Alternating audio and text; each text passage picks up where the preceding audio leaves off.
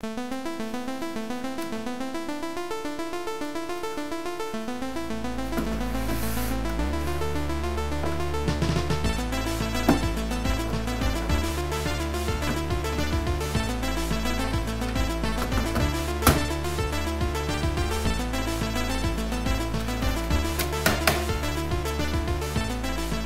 know, it's hard to believe it's been eight months since my last Commodore Plus 4 User's Manual chapter, which was entitled Chapter 8 Making Sound and Music on the Plus 4. Well, finally, eight months later, we are going to cover the last half of the user's guide. That's right, chapters 1 through 8 was only about 50% of the user's guide. The back half is called the encyclopedia, and there's a lot of meaty stuff in there. We are going to do the whole thing in this one video. We're going to run through the encyclopedia. Obviously, I'm not going to get into a lot of detail, but I am going to hit the highlights of what you need to know, the items that are in the encyclopedia that can make your Commodore Plus 4 user's experience more pleasurable. So I would recommend you grab a cup of tea, grab a cup of coffee, sit back, and while you're at it, make sure you check out the companion blog post that's also available for this video. Remember those chapter markers down below so that you can jump around. And finally, don't forget that Commodore.d81 disk image that I've included that includes all the programs from the manual the disk Commodore should have included, as well as a few extras of mine that I've thrown in to help explain some concepts, which there'll be a few in this chapter. Again, kick back, find you a hot drink, and let's get started on the Commodore Plus 4 User's Guide Encyclopedia.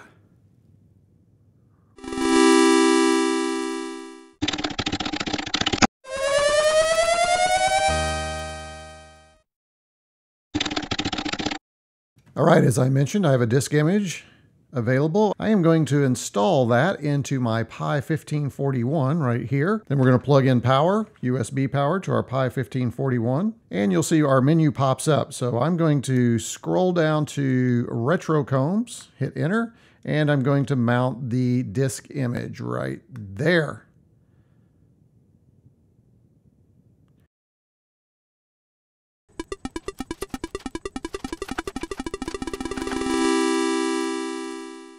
Hey, before we get started, can I ask you to do something? I want you to go down below. I want you to like, I want you to subscribe, I want you to hit those alerts. And I want you to make sure that you do the things that these people are doing right here, my new producers, which is going to buy me a coffee and either supporting the channel or becoming a member. I've got these really fun Commodore specific membership levels, so be sure and go check out that page. Also, don't forget, this video is part of a series on the Commodore Plus 4 User's Guide. Check out stevencombs.com slash plus 4 to see the remaining videos or to get caught up. And remember to share this series with those Plus 4 or C16 enthusiasts you know.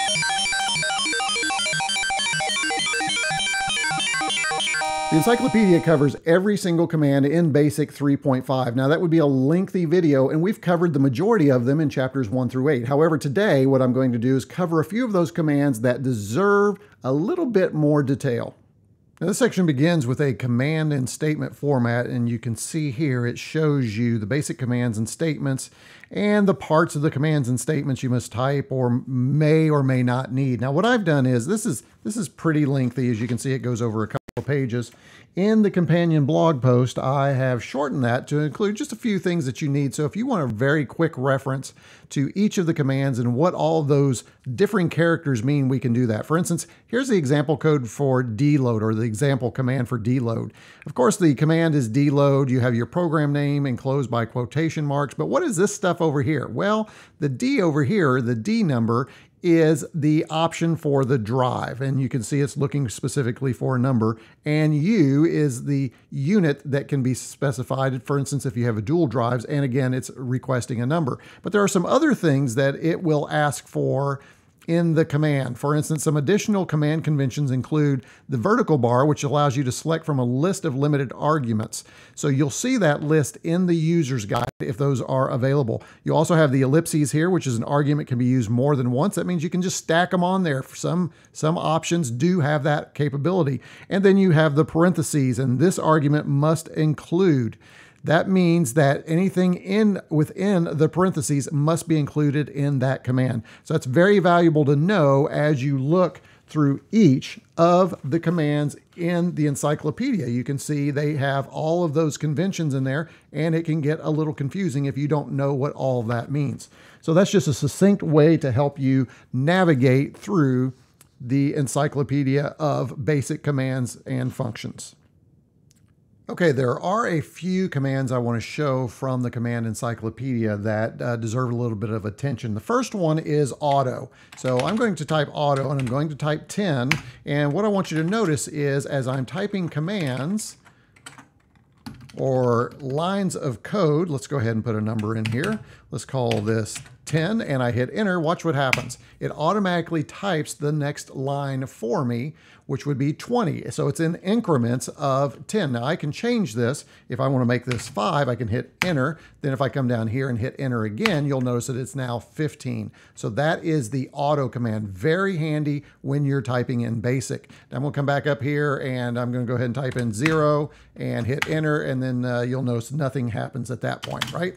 Now, another thing is, as I mentioned, we do have a comprehensive companion disc for this series. There's a lot of stuff on there, but you'll notice uh, it's kind of hard to find what you're looking for. Luckily, you have someone who labeled all these by chapter or by encyclopedia. So let's say you just want to see the files in the encyclopedia. Well, you can type EN followed by the wildcard, which is an asterisk, hit enter, and you'll see that that will load right up. If you are interested, let's say in chapters four, you can come up here, type 04. Oh, and by the way, you don't need uh, that close quotations at the end, just as a little save time tip for you. And there you go. There are all of the commands or all of the programs from chapter four. So that's really handy. The other command that you have that's very handy is one called scratch. And I'm going to stay away from that. But before in uh, earlier Commodores on 1541s, it was a, uh, to, to erase files or to replace files. It was this whole series of open and close commands. And it was quite confusing and complicated. Now, to delete a file, you can simply hit scratch followed by the name of the file, and it will scratch that file from your 1541. It's very, very handy. I love it on uh, the Commodore Plus 4. Now, another one we're going to talk about is a command called monitor. And I am not going to spend a lot of time right now talking about it, but that enters our machine language monitor. We've got, I've got a little bit of surprise for you in the future me as I'm talking about the monitor or the TEDMON. So make sure you stay in, or if you just can't wait, jump right down using those chapter uh, uh, markers down below and you can jump right to the TEDMON. Now this next one I really like. It's called Tron. No, not that Tron. Hey, hey, hey, it's the Big Master Control program everybody's been talking about. However, there's also another command called troff. So would that be Tron's misunderstood brother? I still do not understand why you want to break into the system. But in the world of Commodore computing, we can do some very interesting things with that. Let me load a program and show you what I mean. So I've loaded a program called Trap. And trap works with Tron. Tron is trap on or trap off or troff. So how does this work? Well, if we look through these lines, 10, we've turned on trace.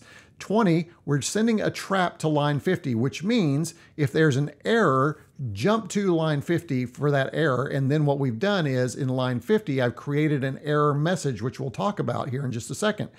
We go to 30, print retro retrocombs. 40, we go to 20. And then on 50, let's talk through that here just a minute. This is the neat thing about the trap and Tron, but there's also this error message string, this ERR string slash a number, which comes from the trap up here, submits it in there, and then it tells us what that error message is. So it's a great way to find out what error messages are in your program. Now let's run this and kind of see what happens here.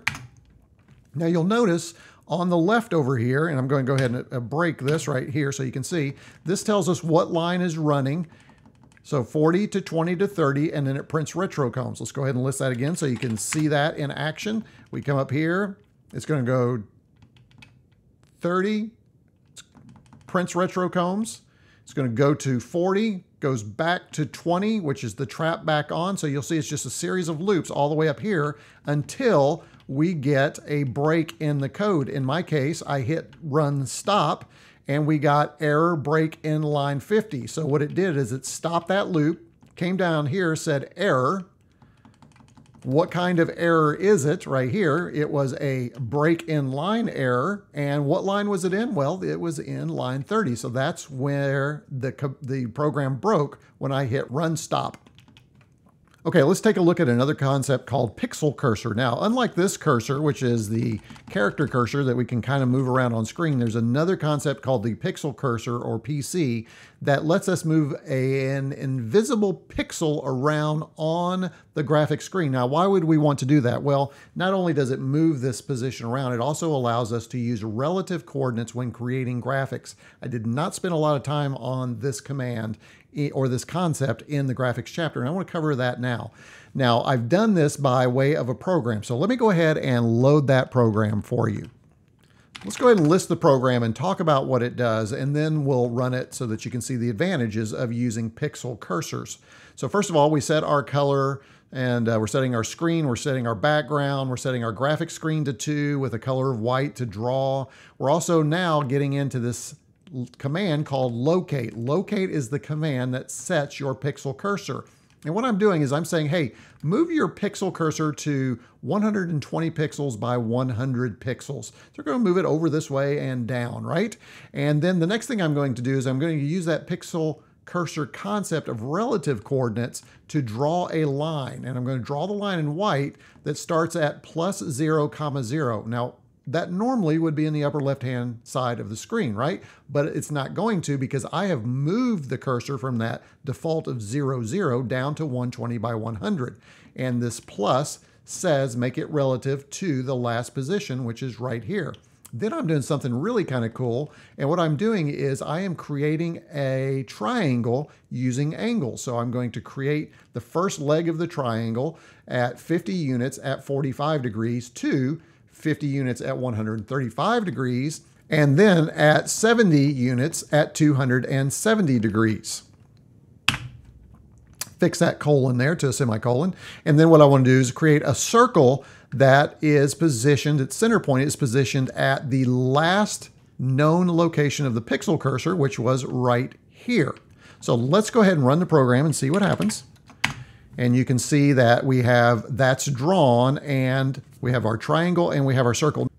Okay, now the advantage of this is if I list line 40, because I've set line 40 to locate a pixel cursor position, I can come up here, I can change this, let's say to 100, and now instead of changing all of those values to modify that shape location, I can hit enter, I can hit run, and now everything is just reshaped relative to that pixel cursor location. So let's do one more.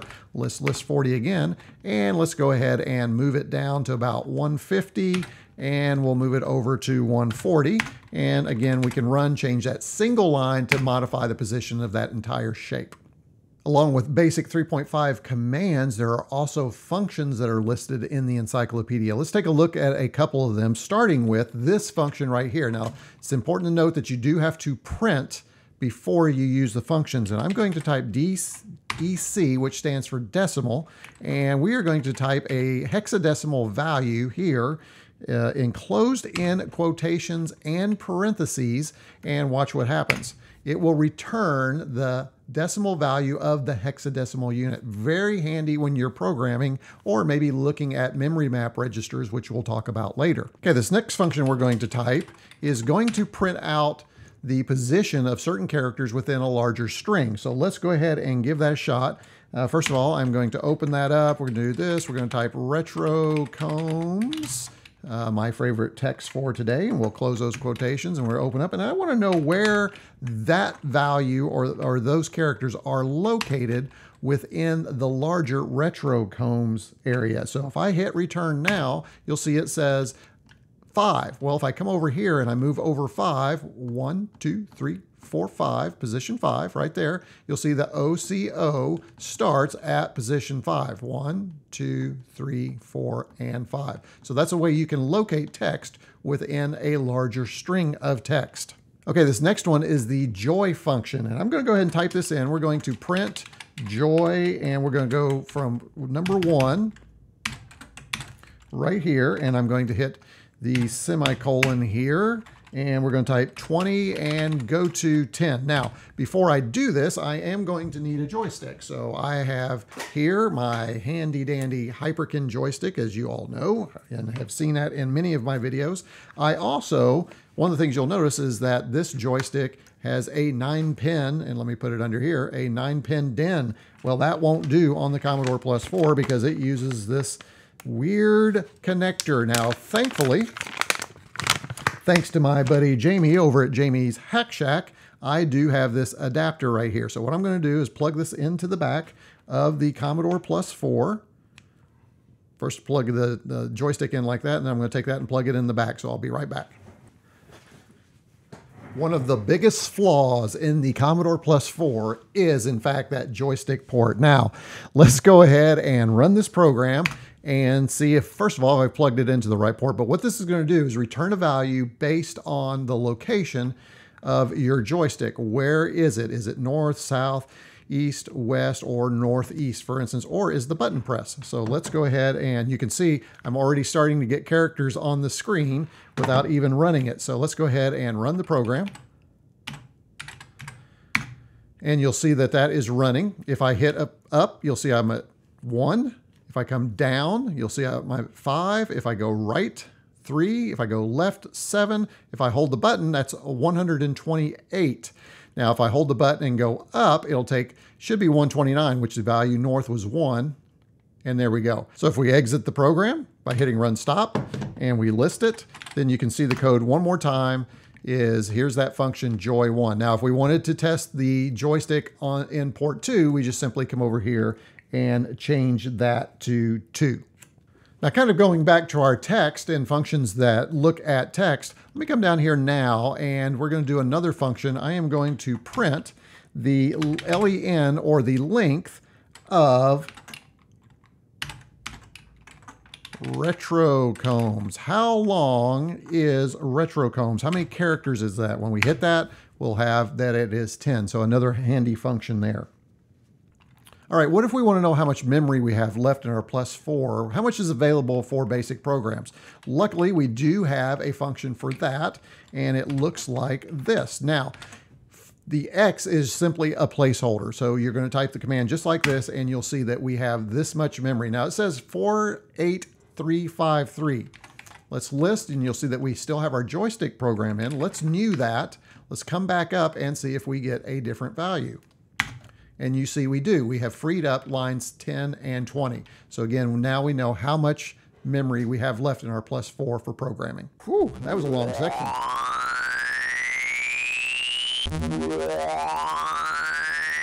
Next sections are a lot shorter, including the next one, which is Basic 3.5 abbreviations. Matter of fact, this whole section is devoted to making things shorter. That is basic commands. Let's take a look and see how those work. All right, section two is abbreviations, and we've looked at a lot of abbreviations. The first one that we've really been looking at is this directory abbreviation. So it's DI Shift R is a way to quickly type directory and not have to type the entire things. And there's some rules, uh, although there are some commands that break rules that we'll talk about. So for instance, commands with two characters have no shortcuts. For instance, DO, the do command, would not have a shortcut. You wouldn't need to shortcut that. Commands with four letters or less are a combination of the first letter followed by shift and the second character. So for instance, the draw command is D shift R. That would be the abbreviation for draw. Commands with five or more characters, such as directory, are the first two letters followed by a shift and the third character. So again, DI Shift R, and that's obviously a command that has more than five characters. Now, unfortunately, there are some commands that don't follow the rules. One of the most notable being DLOAD, which is a simple D Shift L. And we come over here and hit space, space, space, get rid of that, and you'll see it loads. Now there is an oddity for one of the commands, or actually two of the commands, DLOAD and DSAVE. Check this out. If I do DL, D Shift L rather, and I come over here and we get rid of the extra characters here and I hit enter, you'll see it's searching and it's working, which is very interesting. And if I come up here and hit DL Shift O, guess what will happen? Same thing. So there are some commands that don't necessarily follow the rules to their entirety. Uh, however, most of them do. So if you can start to work that in your muscle memory, that will work out well. Check out the entire table for all of the shortcuts and abbreviations you need though.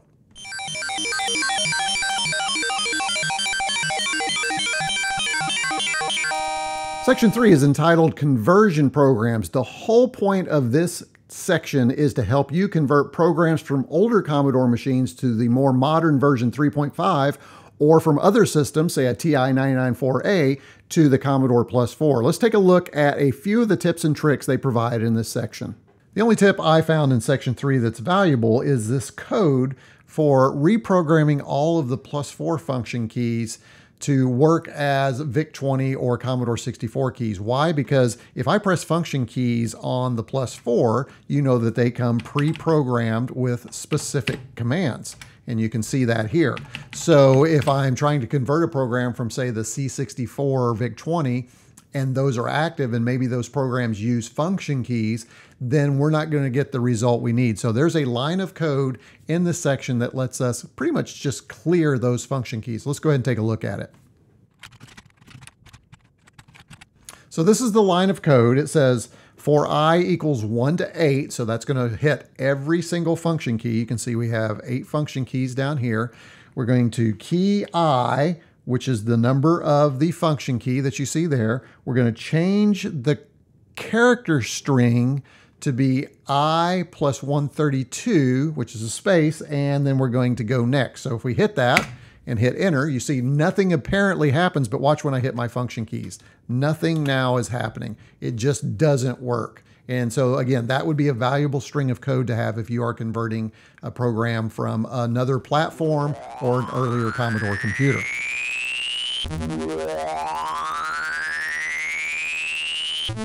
Throughout the programming journey, you're gonna make mistakes and the Commodore Plus 4 is gonna spit errors out at you. This section is all about explaining those errors, but there's a little tip in here. Let's take a look at that little tip. I'm going to print error and I'm going to print the error message number one. And we know that that is too many files. Now, what's useful about that, or kind of interesting, or could be even fun, I think, is, is if you come in here and you include that as part of a basic program. Now, if we list that, Right here, you can see it's 10 print the error message. If I run it, you see that we're going to get too many files. So what I've been able to do is print this long string of text by simply using this function and this value. Could be handy if you happen to just need to print too many values uh, or too many files as part of your basic programming. But think how much you, fun you could have if you're thinking about using this and maybe creating some kind of program where you're hacking uh, some kind of system and you get to print all these fun error messages. Uh, so you can use that table to help you find those.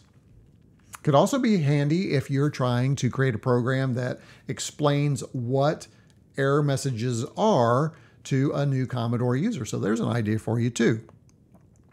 Now those error messages are for Commodore Basic. There's also disk operating system errors that you can print. And if I just do DS, you'll see I get a zero. That's the current disk operating system error. And you can go to the appendix in the encyclopedia and see what those are. There is also one called DS dollar sign, which is the actual error message itself. So if you had a message of, or an error on your disk operating system, you can display it using this and get that back.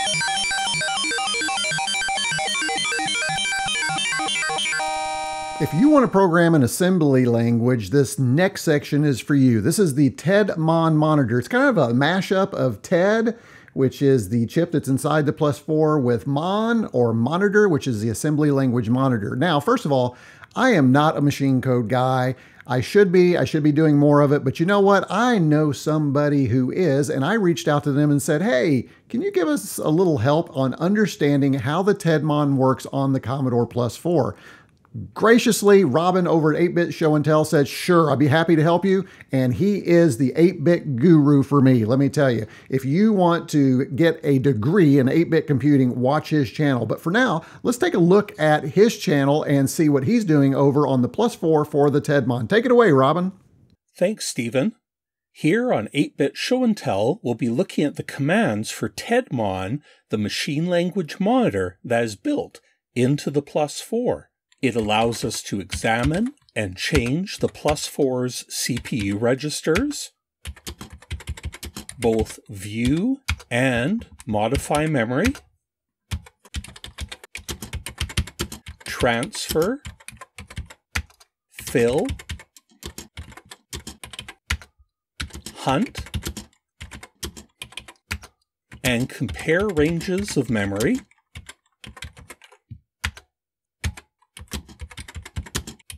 assemble, or disassemble machine language programs and execute them. And save, load, and verify programs and data to disk or tape. And since TEDMON uses most of the same commands as monitors on other Commodore machines, such as SuperMon or the Super Snapshot monitor, much of what you learn can be transferred across the entire Commodore 8-bit family. So if you're interested in looking in depth at that with me, I'll see you over on my channel. Back to you, Steven. Huge thanks to Robin over at 8-Bit Show and Tell. I'm going to hit just a couple of quick things to let you use the TEDMON. If you're curious or just haven't had a chance to watch Robin's video yet, let's look at how to enter the TED monitor or the TEDMON. And it's as simple as typing monitor. Now, if you want to see some additional code, we can type M and display portions of the monitor. And then simply to exit, we can type exit for exit, and that gets us out of the monitor and back into basic.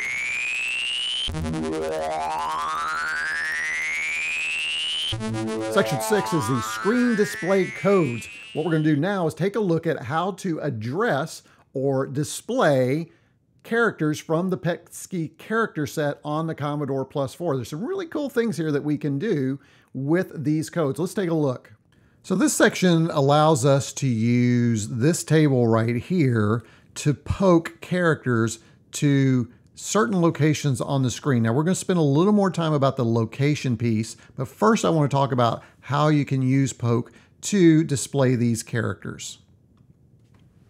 Let's try a line of code. Let's poke 3072 and I want to display the letter A. Now how, what, how do I know what A is? Well, if we look here, we find out that A is 1. So at 3072, I'm going to poke 1. Now, what is 3072? I mentioned uh, that we're going to spend more time in that a little bit later, so I'm not going to highlight this too much, but and it's a little difficult to see, but right there, the very upper left location is location 3072. If I go all the way to the right, we find out that that location is 3111. So I am asking the plus 4 to poke or put the letter A at position 3072. Let's go ahead and hit enter and you'll see if I come up here, I now have an A in that position.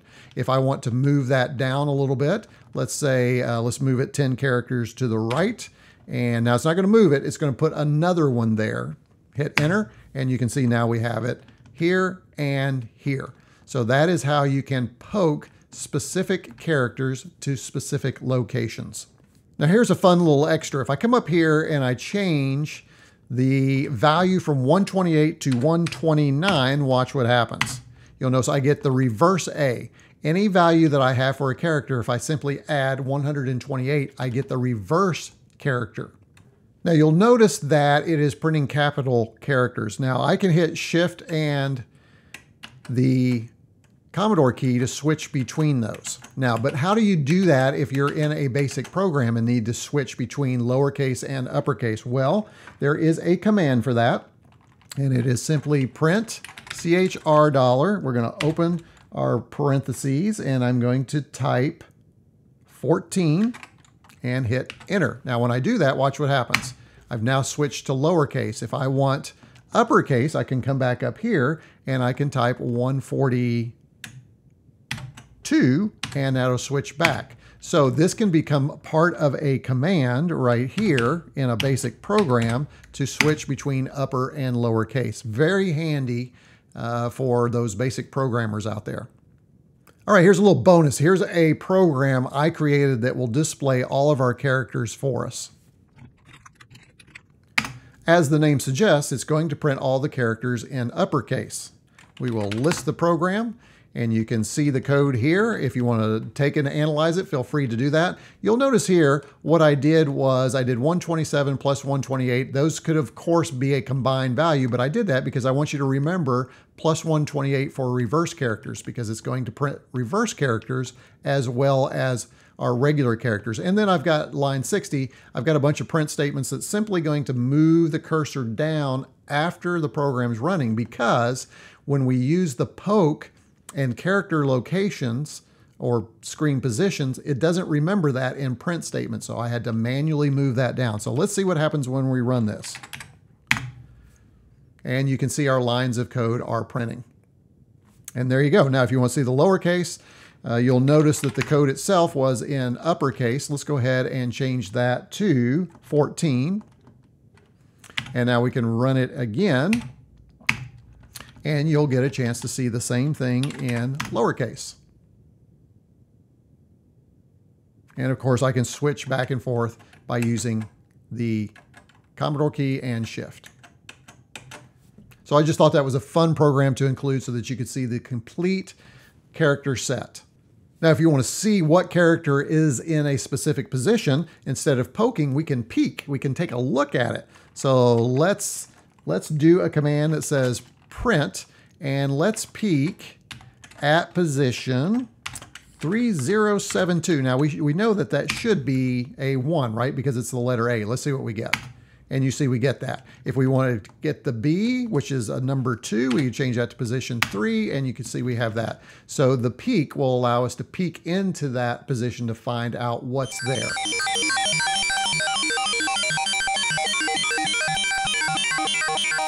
Section 7 is very similar to Section 6 and it's entitled ASCII and Character String Codes. But instead of peeking and poking around on our Commodore Plus 4, we're going to be printing around on our Commodore Plus 4. Let's learn how to use the character string function. So this is a great companion to our previous section as I stated. Let me show you an example here. Let's do ASC uh, and then what I'm going to do is I'm going to open my parentheses, open my quotation marks, and I'm going to close it. And uh, now I've, I've already got an error here, so let me go ahead and let's say let's print that value. And what should that value be? Well, we know that the ASCII value for A is 65. It's not the same as the screen code values, but that is the ASCII value for the character A. And this is a great tool to use if you need to compare maybe a yes or no response from user input for a program. Another option we have, we know we can do, for instance, this command, we can hit control and turn on flashing in our print statement and then type something like retro and close that and that'll flash retro. Well, there's also another way to do that using character strings or character strings are ways that we can inject a line number that does the same thing as this keystroke right here that we just did. So let me show you how that works. Let's do print and let's do character string and for flashing text, that number value is 130. Uh, we need to put that in parentheses here. So let me go ahead and do that. And then we're going to put a semicolon, and then right after that, we're going to put retro again. And when we hit enter, you'll see we get exactly the same thing.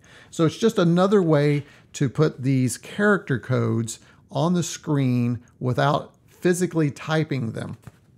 And if we look in the manual, you see that we have the entire PETSCII character set that we can enter.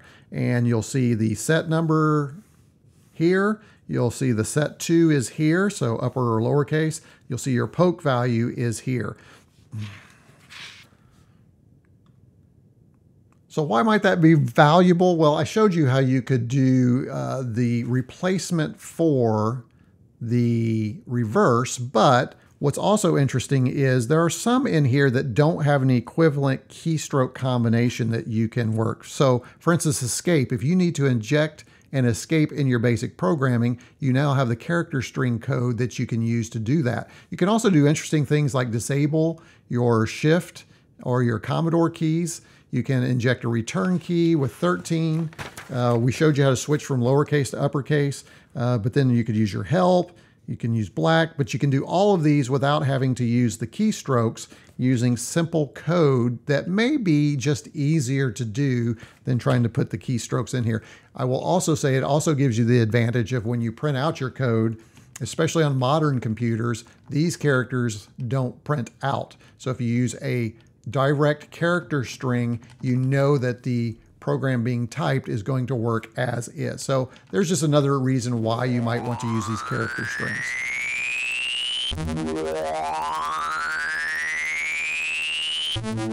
In section six, we learned how to place characters at specific locations around the screen using the poke command. We could also find the location using peek. Now what we're going to do is we're not just going to place characters, we're going to add color by using something called the screen color map.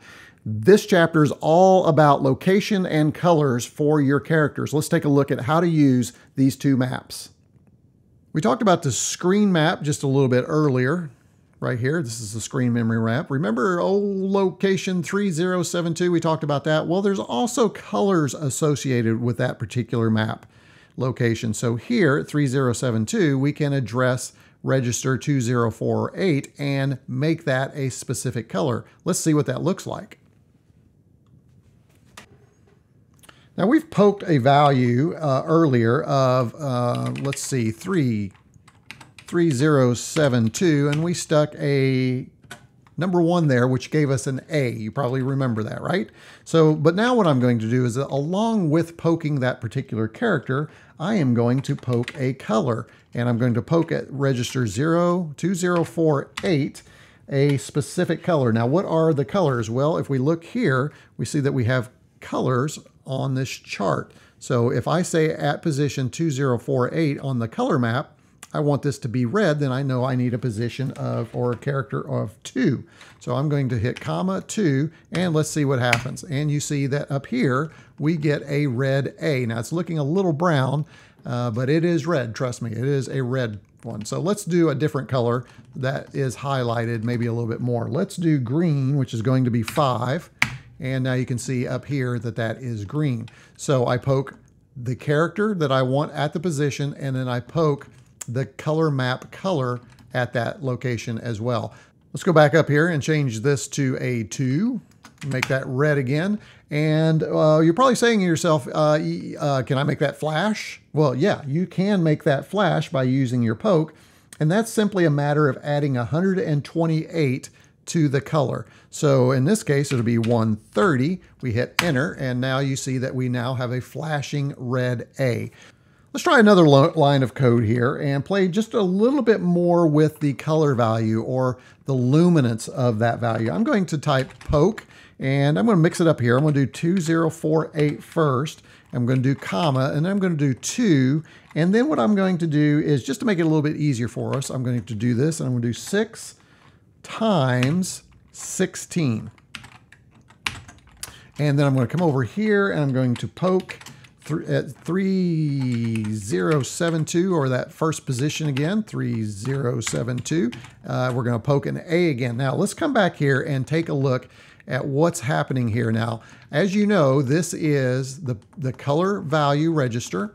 This is the color we're looking for. So again, that's going to be red. That's the color we want. But what is the 6 times 16?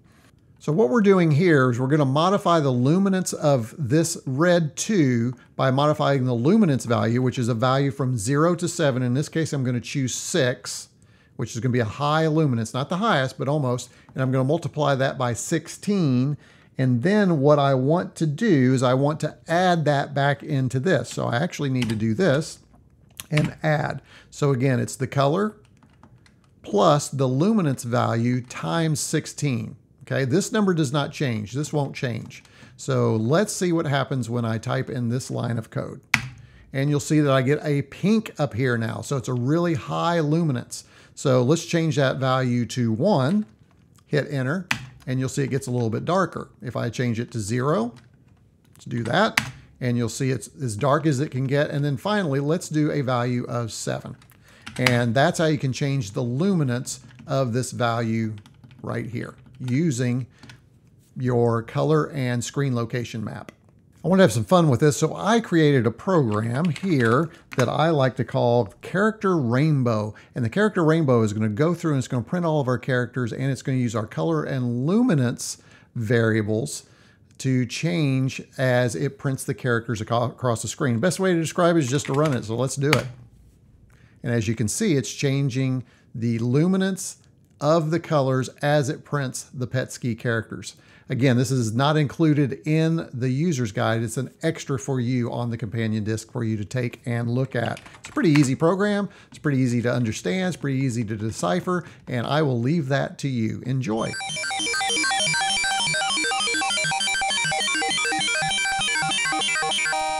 I mentioned earlier that the TEDMON is a great way to peek and poke around inside and view the contents of your Commodore Plus 4 memory. Well, what we're going to do now is use some of the commands from the TEDMON to kind of take a, that little look inside and find out what makes our Commodore Plus 4 tick, or what are some fun things that even if you don't know assembly language, you can do using this memory map and the TEDMON. Let's take a look. So the first thing we need to do is enter the monitor. So we'll go ahead and type monitor. We learned that earlier. And then I'm going to type M, which is uh, going to display this memory location right here. Let's go ahead and hit return. And when I do that, I get some really interesting text over here. This is the beginning of Commodore Basic, that start screen that you see at the very beginning where it tells us what Commodore version of BASIC we have and how many bytes we have free. So if you wanted to modify that, this is the location where you can do that. Now you may be looking at that going, I don't even know what that means. Well, you can also disassemble, as we've learned, those lines of code and you could come in here and start to take a look at that. Now, again, I am not the expert. I am just the messenger at this point having some fun. And there's another location that I think is pretty interesting, 818E. And this is going to move us up a little bit. And this is the beginning of our basic commands. You can see here we have N for next, data input. That is where those are located. And again, if you kind of were curious about how all that was created, I guess we could disassemble that and start running through it. If I hit D again, go to the next line and just keep disassembling all the way down. Another one that I found interesting was this one, 8, 4, 6, E, Oop, not capital E, there we go. And this is all of those error messages. Remember all those error messages we were looking at in an earlier section? Here they are, right here. You can take a look at those. Okay, let's try and type in a program here. Okay, we have our program. I'm gonna go ahead and run that and we'll exit and run stop that. Now I'm gonna go into my monitor and then what I'm going to do is go to position 1008 and hit enter. And let's see. And as you can see, there we have right there, this is that retrocombs right here in that memory area location, which appears to be the beginning of basic memory. Don't quote me on that or correct me on that down in the comments below. But if we want to disassemble that and see what that looks like, there we go. And uh, I, I'm looking here. Now, I'm not an expert, but I do see a jump here. Uh, I'm wondering if that's the go-to loop. Again, I am not the uh, the person to be asking, but hey, this is a great way to explore to see if you can start to figure out how all of this works. Let's go ahead and exit that.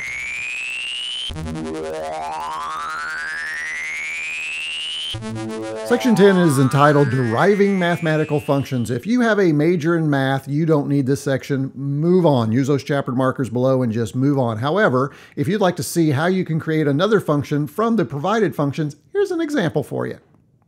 So if we need to create or derive a mathematical function that's not available, there is, of course, this chart here that shows everything. And again, if you're a mathematician, you probably have all of this memorized. But just to give you a quick example of how that's going to work, I could easily come in here and I could say 10 is equal to the secant of x right here.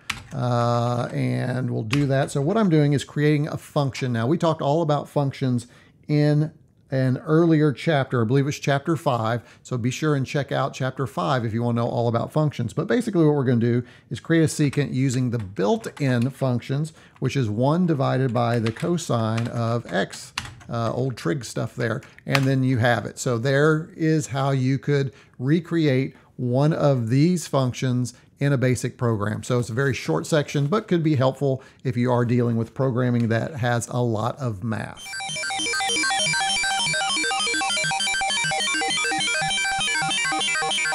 Section 11 is entitled Musical Note Table. Now, I covered sound extensively in Chapter 8. You can go back and even covered this table in brief form. However, let's go ahead and take a look at one more example and see what else this table can provide for you. We spent a lot of time in the musical notes, but let's just give you one more example to show you how you can use this table to help you create music on your plus four. So here is the table right here, and you'll see that we have a sound register value that correlates to the note and the actual frequency in hertz. And as listed here, this is for NTSC. So that's important to note as well. I would assume that uh, manuals that went to Europe had a PAL representation of this table. Let's go ahead and take a look at a sample. And we've done, again, a lot of these. So I'm going to type volume. We're going to do volume 7 and we are going to do sound and we're going to play 1 7 and 30 so what does that mean? Well what that means is we are going to play on sound channel 1 7 which is a note A for a half a second. So those are in milliseconds. So if we hit enter if we wanted to go a little bit longer, then we can come up here and change this value. Well, let's change it to 300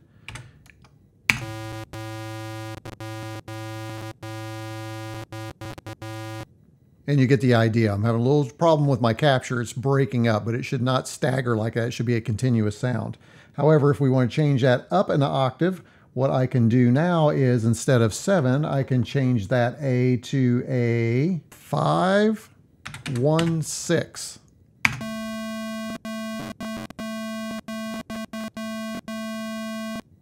And there we go. So that's how you can use the table to start to program musical notes, sounds, or songs.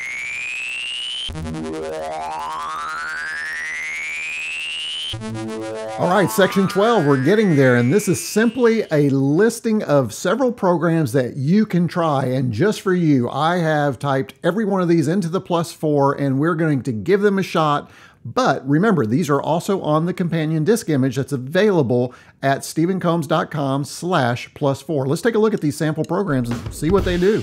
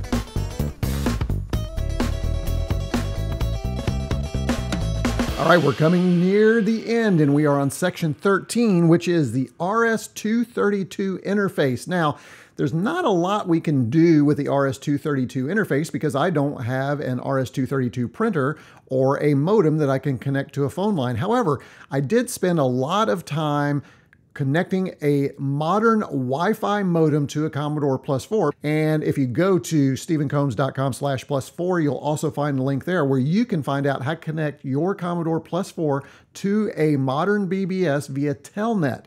However, there was some code in the manual. I did type it in. Let's see what happens. As I mentioned, I did type in the RS-232 program for you if you have a modem, but let's go ahead and take a look at it.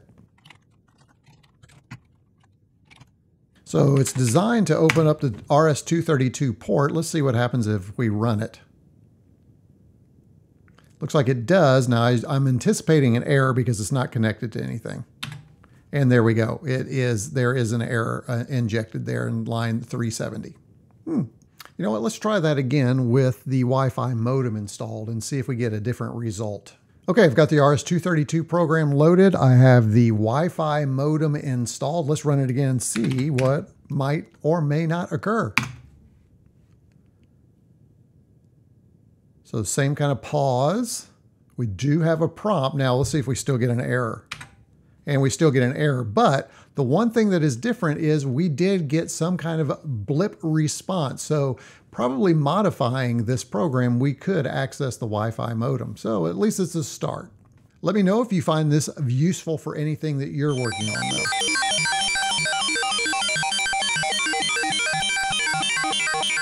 Finally, the last section. Section 14, Books for Commodore Products. It's interesting that they include a list for Commodore products and very few specifically for the Commodore Plus 4 probably because there was a dearth of Commodore Plus 4 manuals when the user's guide was created. However, there are some gems in here, and what I've done in the companion blog post is many of these are still available, or you can get them as a free PDF. You want to check out the companion blog post, You'll find links to everything I could find online. Hey, if I've missed something and you know where there's a copy of one that I don't have linked, please send me a email at retrocombs at icloud.com and let me know.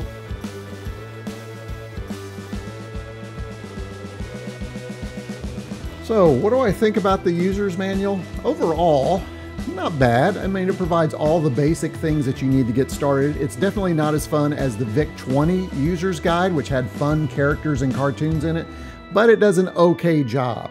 I will say I'm glad I went through it because this was a great time through the pandemic for me to verse myself and relearn again those Commodore commands I had forgotten, but with a more modern Commodore basic version 3.5. There's some great commands in here that would have really been nice on the VIC-20, but especially the Commodore 64.